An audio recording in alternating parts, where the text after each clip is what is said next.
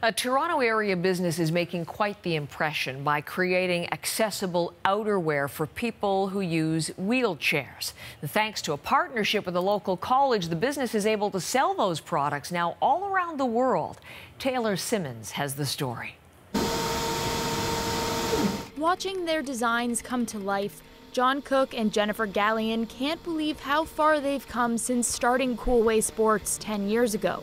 We had no patterns, we had no staff, we had we had a client base, but uh, no real sales. But they had a passion for designing comfortable and warm outerwear for people using wheelchairs. Neither of us have any family members in wheelchairs.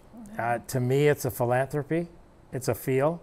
We believe in what we've done. There's a real hole in the marketplace. Uh, there's not too many people doing what we do. In a normal day, to dress a child with a, in a wheelchair takes 10 to 15 minutes. And if you dress and undress, that's a lot of time in a given day. We can dress anyone in our full coat with the blankets in two minutes. Sometimes you just want something that's easy to take off. The brand began to pick up traction, but refusing to produce outside of Canada, the duo didn't have a big enough facility to churn out large orders. That's when they heard an interview on CBC's Metro Morning about George Brown's Fashion Exchange. They were struggling to find uh, production services and support uh, to get their product launched, and uh, they came to us. The exchange is a manufacturing workshop made up of students, industry professionals, and members of the Regent Park community looking for training, including many immigrants.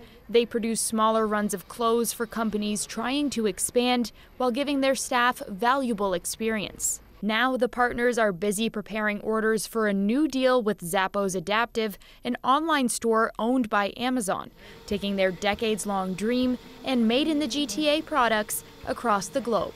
Taylor Simmons, CBC News, Toronto.